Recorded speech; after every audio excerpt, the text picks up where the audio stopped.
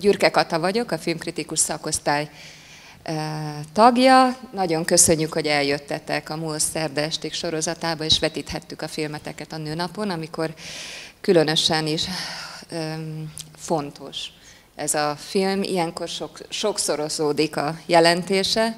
Egy picit jobban odafigyelünk a nőkre. Meglepő volt egyébként, hogy milyen kevés férfi szereplő volt ebben a filmben. Nem is tudom, hogy hol kezdjem a bemutatást. Noémi, a film rendezője.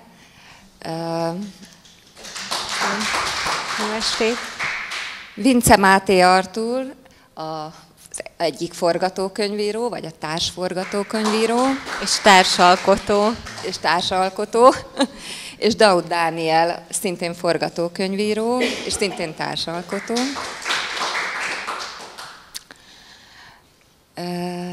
Mielőtt még elmondanám azt, hogy milyen érdekes utat, út vezetett benneteket a filmkészítéshez, beszéljünk egy picit a témáról, a film témájáról, nevezetesen az örökbefogadásról. Túl azon, hogy régi témája egyébként a magyar filmnek, az örökbefogadás, és több nagyon fontos film is született erről a témáról.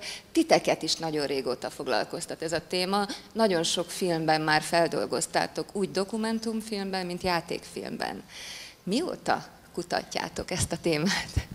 Átadom a Máténak a szót. Nem, mert igazából mi dokumentumfilm készítést tanultunk a Noémivel, ott ismerkedtünk meg a Színház és Filmművészeti Egyetemen, Almási Tamás első dokumentumfilm rendező mesterképzésén, ahol ugye hétről hétre témákat kellett keresnünk és forgatni tényleg intenzíven, és engem nagyon régóta érdekelt az örbefogadás témája.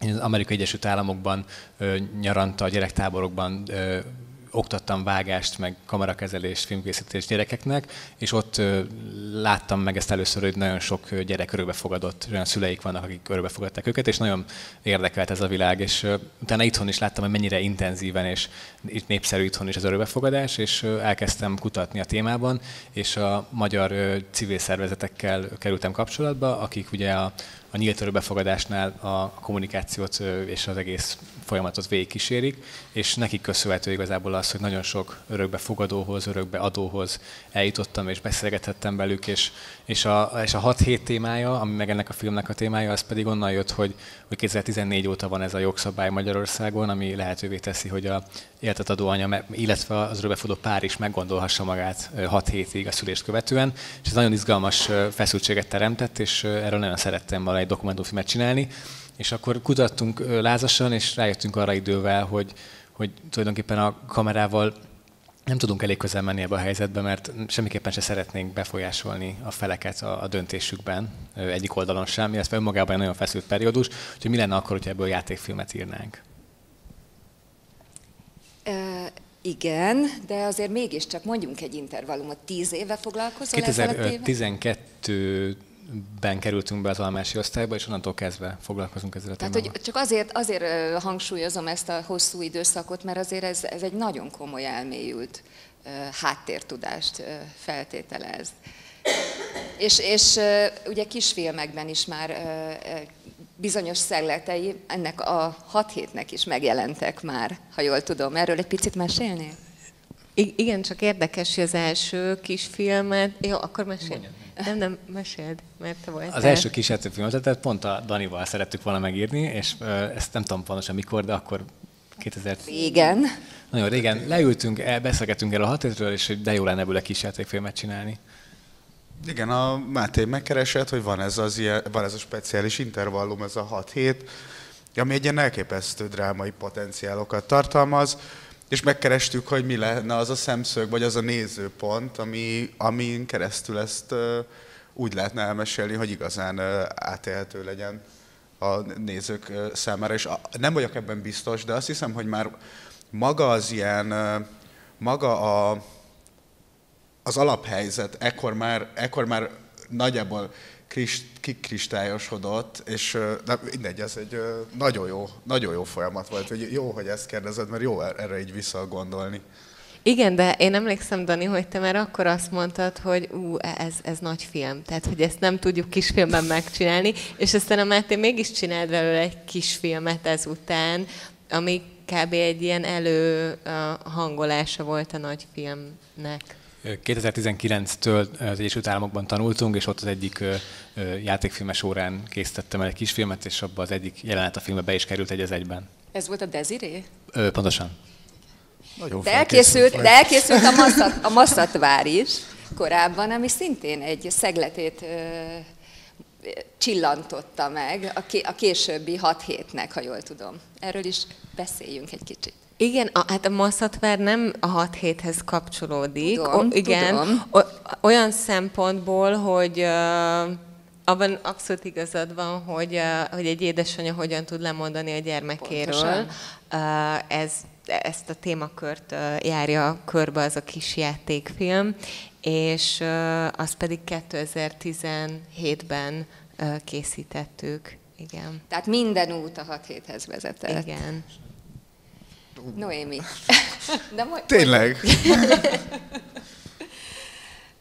Úgy tudom, hogy felkérésre vágtatok bele, aki nem, nem tudott eljönni, a film producere Ron Walter Judit, de hogy ő kérte meg, vagy ő keresett meg benneteket avval, hogy valamilyen televíziós filmbe szálljatok be együtt, és találjatok ki valamit, és akkor rögtön ehhez a témához fordultatok. Tehát mióta készülsz arra, hogy játékfilm legyen, és, és, és mesélj erről a folyamatról. Igen, ez izgalmas volt, mert akkor tört ki a pandémia, és a Judit mondta, hogy van egy új televíziós pályázás, és hogy nem próbálunk el meg valamit beadni, és egyébként először nem ez jutott eszünkbe, hanem egy másik téma, de azt éreztük, hogy ez nem elég kidolgozott, és akkor a Mátéval beszélgettünk, be, be voltunk zárva, és arra gondoltunk, hogy ezzel már olyan régóta foglalkozunk ezzel a témával, és gyakorlatilag tényleg azt érezzük, hogy ez dokumentumfilmben nem fogjuk meg, nem szeretnénk megcsinálni, hanem ennek a játékfilm a formája, hogy próbáljuk meg ezt, és, és adjuk be, mert hát ha sikerülhet, és így adtuk be Judittal a pályázatot. Pici... Akkor, Igen. Akkor, akkor volt a Sundance-nek a második fordulója szerintem már a másik forgatókönyvvel. Igen. És, és akkor kicsit így ez volt a... Ez volt egy, volt Döntési közben, pont. Igen, volt közben egy, volt közben egy másik Igen. film, amivel mi közben dolgoztunk a Noémiékkel, és akkor, és akkor e- ennek a folyamat közepén érkezett be ez a dolog, és ott hón alatt voltam, vagy hogy mondjam, és berántottam ebbe a projektbe. Ezt is. hogy érted? Így, ahogy mondom, hogy hát most itt dolgozunk, hát akkor dolgozunk ezen. Meg ugye a pandémia miatt nagyon kiszámítatlan volt a helyzet, és igazából örültünk annak, hogy már van egy olyan történetünk, amit már korábban elkezdtünk kidolgozni, hárman ráadásul, és hogy de jó lenne ezt kibontani, és igazából egy nagyon egészséges, egy nagyon izgalmas folyamat kezdődött a forgatókönyv megírásával, amit ugye élőben is, meg Zoomon is folytattunk a beadás előtt. Nehéz elképzelni, hogy hárman írtok egy történetet. Ez, ez, hogy, ez, ez hogy zajlik? Dani, mondhatom? Igen. Jó. Úgy zajlik, csak a Dani korábban ma ezt megkérdezték, és azt mondta, hogy ez nagyon intim kérdés, így a viszonyunkat illetően, de egyébként eláruljuk nektek, uh, kitaláltunk egy ilyen kis nem tudom, mondókát, hogy hogy működünk így együtt, hogy a Máté a kutató, a Dani az építész, én pedig az álmodó, és akkor nagyjából ilyen dinamikákkal dolgozunk együtt, hogy a Máté mindig valahogy a hitelesség, a valóság a, hozza be a történeteket, akkor én így nem tudom, mindenfélét kitelelök, a Dani meg ugye az egyetlen hivatásos forgatókönyvíró a csapatban, ő pedig nagyon jól uh, viszi a struktúrát, és együtt uh, gyúrjuk, gyúrjuk tovább aztán hárman mindenkinek az ötletei alapján a forgatókönyvet, de van egy picit ilyen, uh, nem tudom, ezt is szeretjük mondani, vagy állítani magunkról. Uh, akartok ehhez? Ne, meg, meg ettől a döntéshozás könnyebb. Szó, Igen. hogy, hogy egy-egyes felállásban mindig van egy ilyen helyzet, hogy jó, de... Padhelyzet. Na, és itt így... Én azt figyeltem egyébként, hogy a filmben is van egyfajta hármas egység, fél óránként egy komoly váltás történik a filmben, és ugye három darab fél órából áll. És te úgy képzelted, hogy... Nem, csak mondom, csak mondom, hogy, hogy ez most így hirtelen a hár, hármotok munkájára így asszociálva. Noémi visszatérve a témaválasztásra, tehát itt egy nagyon komoly, a magyar filmben nagyon régóta megjelenő történetet szősz tovább ezzel a filmmel. Ebbe te belegondoltál? Um, igen, gondolkodtunk ezen, és meg is néztük azokat a filmeket, amik hát nagyon fontos magyar filmek. Például Mészáros Például Márta az örökbefogadást, igen, a Mészáros Márta filmeket. Egyébként valamiért az egy napot is valahogy egy picit, ami ugye nem régen született film. És az is Ron Walter Juditnak az egyik. Ő koproducer volt, igen, igen. igen. Um, tehát, hogy, hogy néztünk uh, sok filmet, magyar filmeket is, amik inspiráltak, sőt a körhintet is uh, néztük egy adott ponton, um, és uh, bele gondoltunk ebbe, hogyha nem is nagyon tudatosítottuk, uh, de mégis ott voltak ezek valahol. Hagyományok. Ott, igen. Hm. Picit, ha a körhintára gondolunk, ugye itt is megjelenik a körhinta motivuma, a filmben is sok-sok visszatérő, ha nem is téma, de, de, de, de végül is egy téma van, ami úgy vissza-visszatér. Például ilyen a, az égség mindenféle értelemben. Annyira, hogy ezt mondod, mert ezt még senki nem mondta egyébként, az égséget. De igen, abszolút ott van. Igen, égség. Tehát, égség. Mindenféle, tehát nem csak fizikai értelemben, hanem mentális értelemben is. Tehát szeretet, égség. Igen. Illetve, illetve visszatér a magány is, hogyha jól érzékelem. Hát a magány és a magára hagyatottság, hogy Zsófi igazából teljesen egyedül van ebben a történetben, még akkor is, hogyha úgy látszik, hogy körülötte vannak emberek, bizonyos szereplők, ő egyedül kell, hogy megküzdjön ezzel a helyzettel. Hát és tulajdonképpen az egyetlen felnőtt. Ő az családban. egyetlen felnőtt, igen, egy parentifikált gyerek karaktere, és ő viselkedik egyedül felnőttként, igen. Azt szeretném, hogyha a közönség is nyugodtan kérdezzen, mert ez egy közös beszélgetésnek készül, úgyhogy nyugodtan tegyenek fel bármilyen kérdést. Személyes élmény. Mikrofonba kérdezem. Igen. A örökbefogadással kapcsolatban személyes élményünk nincs, de a Nincs, nincs örökbefogadott egyikünk családjában sem, de hogy a dokumentumfilmes osztályban a, nagyon sokat kutattunk és forgattunk a témában, tehát hogy nagyon közel, magunknak közeléhez érezzük ezt a témát. Tehát, hogy igen, nekem egyébként van a családban örökbefogadott, a kicsit távolabbi, mert hogy, hogy unokatestvéri szinten, de szerintem nem ez volt az oka az indítatásunknak inkább a, valahogy nagyon közelinek érezzük ezt a témát maguk, magunkhoz, attól függetlenül, hogy nem, hogy nem vagyunk érintettek. Mészáros Márta filmjét, a befogadást, az, az befolyásolta? Én csak arra, nem emlékszem semmire, csak hogy jól szól nektek. Arra viszont nagyon. Ki kell menni, hogy. Néztük azt a filmet, nagyon szeretjük, inspiráció volt nekünk, de konkrétan ezt a filmet nem befolyásolta, de mindenképpen inspirációs forrás nekünk a Mészáros Márta életmű.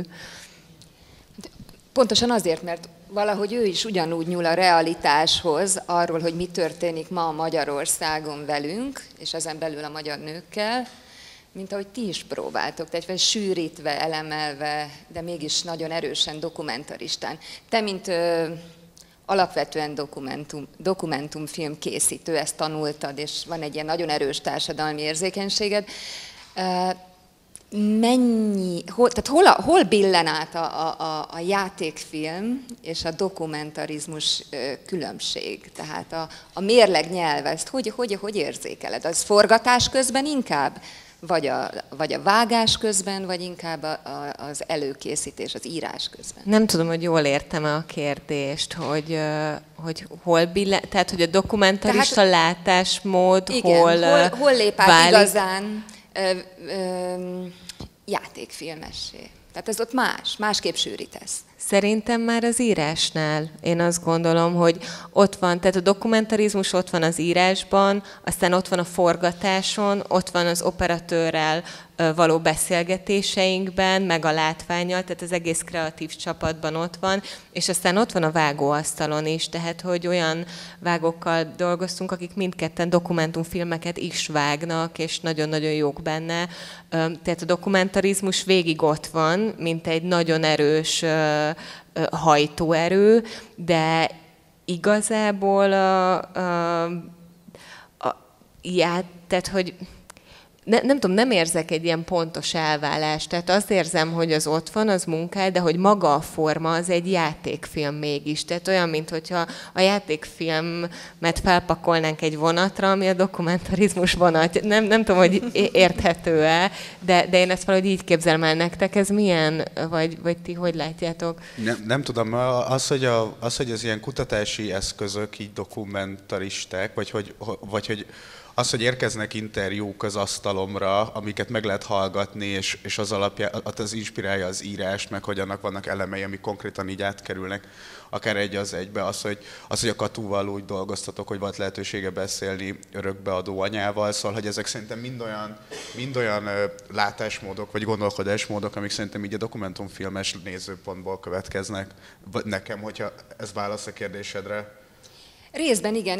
Ebben nagyon fontos szerepe van szerintem a képnek és az operatőrnek. Igen. Tehát itt lép be igazából az ő szerepe, hogy, hogy egy, egy, egy, egy elemelt, nagyon izgalmas, kevert vizuális világot. Igen, és nagyon jó, azt mondod, hogy kevert, mert én egyébként úgy voltam vele, hogy mondtam az Olinak, hogy hú, ez legyen nagyon dokumentarista, és végig a kézben a kamera, és megyünk a Zsófi után, és akkor mondta, hogy tök jó, de hogy ez nem mindig működik, és mi lenne, ha, és akkor elkezdte behozni, behozni az ő látásmódját, hogyha ezt a jelenetet így meg így világítanánk meg, hogyha elemelnénk, hogyha itt meg itt letennénk a kamerát, és mi ez statívon lenne, itt meg nem tudom, úszna, és akkor mondtam, hogy jó, bízom benne, csináljuk, csináljuk így, és volt, tehát hogy, hogy a nagy része ennek köszönhető. Volt, ami nem működött, és akkor ott átgondoltuk, hogy hogy lehetne ezt jobban, vagy akkor visszamegyünk a dokumentarizmusba, de 90%-ban meg nagyon jól működött az ő elképzelés, úgyhogy nagyon hálás vagyok neki, mert ez egy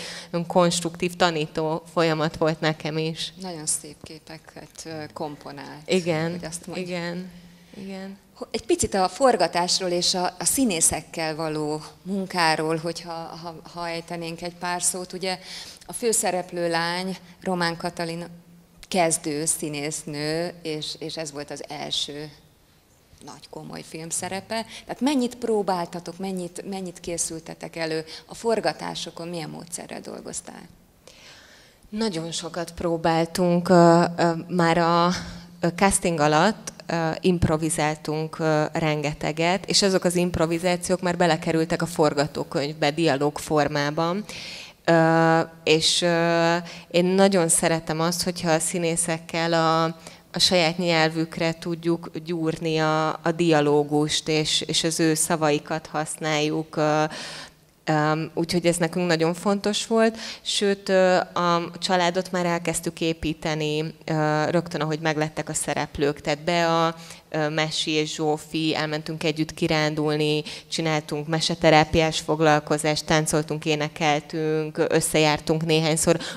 Sajnos koronavírus alatt volt ez, úgyhogy nem volt olyan sok lehetőségünk, meg alkalmunk, de néhányszor ezt össze tudtuk hozni, és ez mindig nagyon jó volt, mert azt szerettem volna, hogyha egy szövet alakul ki már a, a forgatás előtt, és aztán ott, szóval ne ott ismerkedjenek a, a szeten, mert az, az nem lett volna jó és a Katuval meg hát folyamatosan tartottuk a kapcsolatot. Ő ugye minden nap 5-6 órát edzett, futott, evett, mindent csinált, hogy tényleg ö, belekerüljön Zsófiba, és, és folyamatosan mentünk át újra és újra a forgatókönyvön, a lelkiállapotokon, interjúztunk érintettekkel, könyvet olvasott, álmokról beszélgettünk, naplót, tehát hogy minden, ami, ami ehhez a lelkiállapothoz kell, azt csináltuk, hogy úgy érkezzen már bele a forgatásba, hogy ő Zsófi, és hogy egész nap benne tudjon lenni ebbe a szerepbe, mert nagyon rövid időnk volt felvenni ezt a filmet, 21 nap alatt forgattuk, és uh,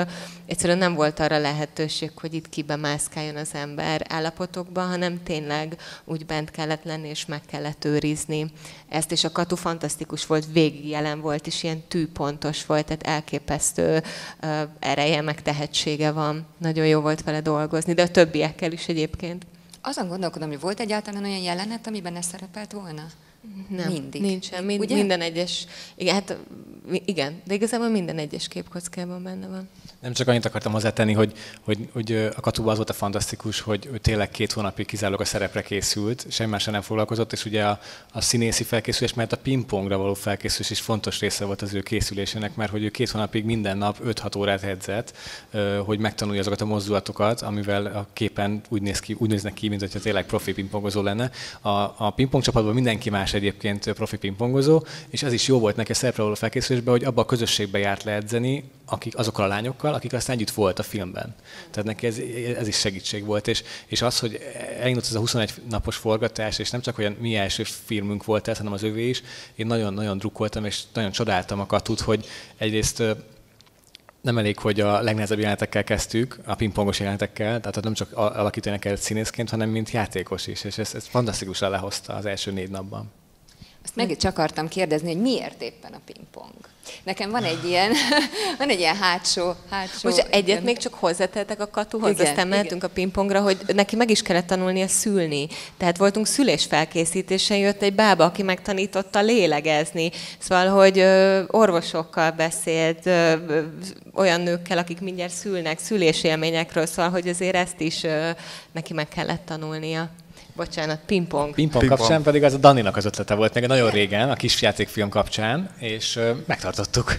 Valahogy, valahogy az, hogy hogy egy olyan sportot válaszunk, ahol nem, nem egyértelmű az ilyen kitörésnek a lehetősége, szóval, hogy ne állítsuk a nézőt valamilyen oldalra rögtön, hogy ja igen, ez a jó döntés, vagy ez a jó döntés, hanem hogy, hanem, hogy nem egy, mint Magyar, Magyarországon ilyen adekváltabb kitörés sport tok, mint aminek vízilabda, vagy a kézilabda, szóval olyan, olyan, amiről így jobban elhiszi az ember, hogyha ebbe belefekteti tényleg az energiát, akkor, akkor van reális jövő képe, hanem direkt egy olyat választhatunk, ami, ahol, ez egy, ahol, ez egy, ahol ez egy kicsit kérdésé válik, vagy ad egy fura feszültséget ennek a, a, az egésznek.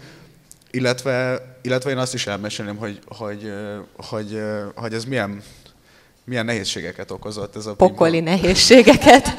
Hát amikor az operatőr megkapta a forgatókönyvet és elolvasta, az első mondat az volt, hogy nagyon jó a könyv, de ne pingpong legyen, mert azt a legnehezebb felvenni képben, annyira gyors. És a legnehezebb megtanulni profin, mondtuk, de a pingpongot, tehát mindenki tud.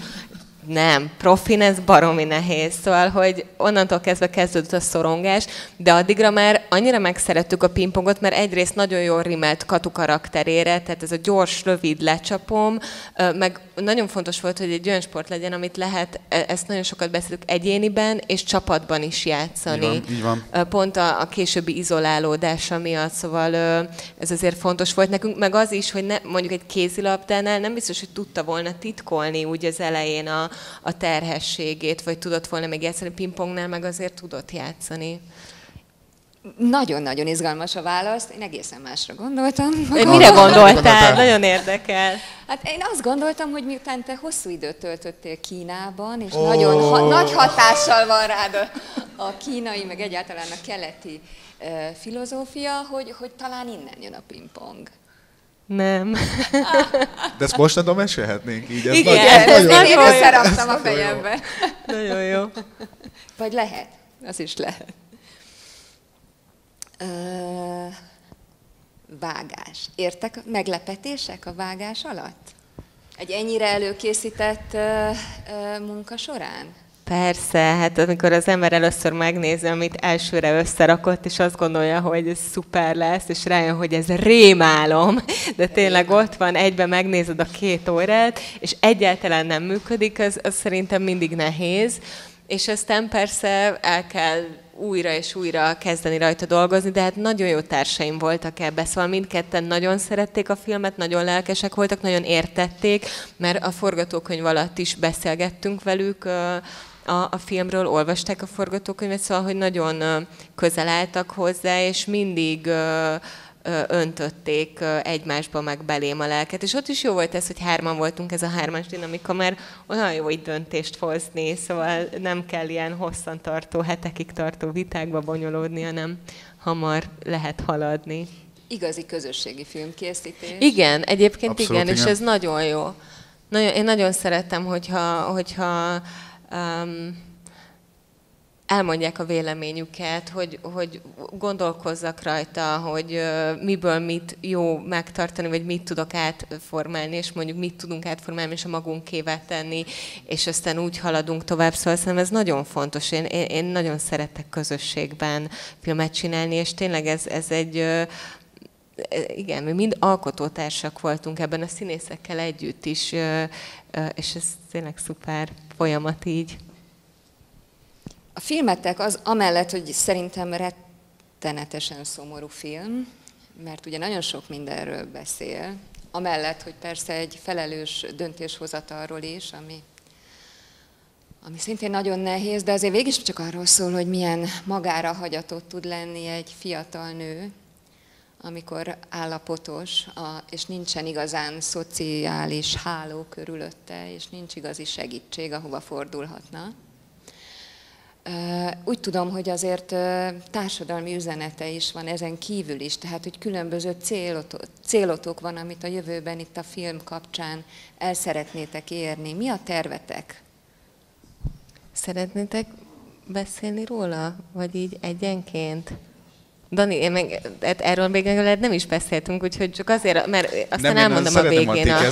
Szeretném, ha Jó, akkor a, a, több, több célunk van ezzel. Egyrészt uh, most akkor messziről indulok, hogy nagyon szeretnénk, hogyha, hogyha az iskolákban a felvilágosítás sokkal alaposabb, alaposabb lenne, az oktatás. Um, a kutatásainkban azt vettük észre, hogy a, a fiatal lányok, meg fiúk sem nagyon ismerik a testüket, a szexualitásukat, és nagyon jó lenne, hogyha erről nyíltan tudnánk beszélni, és hogy sokkal jobb programok lennének erre, mert mindent a, beleng a prüdéria, és hogy ebből nagyon rossz helyzetek tudnak kialakulni, és ilyen vaskos szégyen tapad ehhez. Szóval nagyon szeretnénk azt, hogyha erről tudnánk beszélni a film kapcsán is akár, a, a gimnazista korosztályjal. Ez az egyik, akkor 2020-ban megszüntették az örökbefogadásnál a kötelező érvényű tanfolyamot, tehát nem kötelezővé, nem szüntették meg, a kötelező érvényét vették el, tehát opcionális, és ez az összes szakembernél kivert a biztosítékot, mert ez egy nagyon-nagyon fontos tanfolyam, ami, tehát hogy a családok sorsa múlhat rajta adott esetben, és azt mondták nekünk a szakemberek, hogy ennek ellenére azért nagyon sokan elvégzik, tehát általában elvégzik az örökbefogadók a tanfolyamot, de ennek kötelezőnek kell lennie. Szóval nagyon szeretnénk, hogy a filmmel felhívni a figyelmet arra, hogy ez legyen újra kötelező, és, és, és mindenki... Nekik, Igen, az, örökbe, az örökbefogadó az örökbefogadó szülőknek, nem, most nem a nevelő szülő, örökbefogadó szülőknek, igen. Két külön műfaj, két, igen. Két külön, igen, műfaj. Um, ez a két kon- de nekem még volt egy a fejemben. De, ja, igen, és a, pedig, hát ami ilyen nagyon egyértelmű igazából az érzékenyítés, uh, a, meg az, tehát picit arra való uh, figyelemfelhívás, hogy sokkal kevésbé ítélkezzünk az emberek felett, de ez egy nagyon generális, vagy kicsit ilyen klisé-szerű üzenet, de mégis ez nekünk nagyon fontos volt, mert azt láttuk, hogy ezeket a lányokat nagyon stigmatizálja a társadalom, amiben élnek, és, és nagyon könnyű rámondani, hogy milyen anya az, aki lemond a gyerekéről, vagy örökbe adja a gyerekét, és motivációnk volt az, hogy megmutassuk, hogy milyen okok húzódhatnak egy ilyen baromid nehéz döntés hátterében. Valami még nektek? Szerintem elmondtál, Szerintem elmondtál mindent. mindent. Nekem is ez jutott eszembe, hogy, hogy, hogy, hogy ez, hogy ez a, ez a stigmatizáció, szóval hogy az, hogy, az, hogy, az, hogy ezt így meg lehet érteni, ezt a döntést, ez így, ez így, ez nem feltétlen egy, egy tehát ettől nem gonosz valaki, vagy nem, most, És elfogadni azt, hogy, hogy egy adott ember abban a szituációban a lehető legjobb döntést hozta. A gyerek érdekében. Igen. És nem a sajátjában. Igen. És pont ez a szép a nyílt örökbefogadásban, hogy ezek a lányok, akik ezt választják, ugye ők meg akarnak bizonyosodni a felől, hogy a gyerek jó helyre kerül, hogy tudja, hogy ki az a két ember, akinek odathatja a gyereket. És ez szerintem ez nagyon szép dolog tőlük. És ez, nekünk Zsófi karakterénél is fontos volt, hogy azért is egy nyílt örökbefogadás vesz, és nem az ártat, mert ő egy kontrolláló karakter, tehát ő tudni akarja, kihez kerül a gyerek, ő gondoskodni akar erről is, mert hát gondoskodik másik két gyerekről, a mesiről és a saját anyukájáról igazából, úgyhogy erről is ezt, ezt meg akarja tenni a gyermekért. És még annyit, hogy a film nem sokára, két hét múlva, március 23-ától mozi forgalmazásba kerül, ami szintén meglepő, mert ugye, ha jól tudom, elég kacskaringós útja volt ennek, mert ez egy televíziós film egyébként, televíziós sor, ö, pályázatra született, és most elkerül a mozikban is, mozikba, és erről egy picit mondjatok valamit. Nagyon örültünk annak, hogy amikor elkészült a film, akkor a Nemzeti Filmintézet alkalmasnak, érdemesnek találta arra, hogy fesztiválokra nevezze világszinten ezt a filmet, és Szarajevóban sikerült a világpremiért megejteni, ami egy nagyon jó élmény volt számunkra, és egyre több helyről azt a visszajelzést kaptuk, hogy ezt milyen jó lenne nagyvásznon minél több emberhez eljutatni országosan is, és végül is Sikerült? Végül is sikerült, igen. Hosszú ideig nem, de aztán januárban, január végén volt egy forgalmazó, aki úgy gondolta, hogy ezt úgy el tudja jutatni akár kis közösségekhez is, hogy nem feltétlenül kell pályáznia, és nagyon örültünk neki, és akkor végül is ők most moziforgalmazásba viszik a filmet, szóval, szóval ez tényleg szuper. És ti is mentek vele, gondolom az ország, országos Igen. vetítésekre.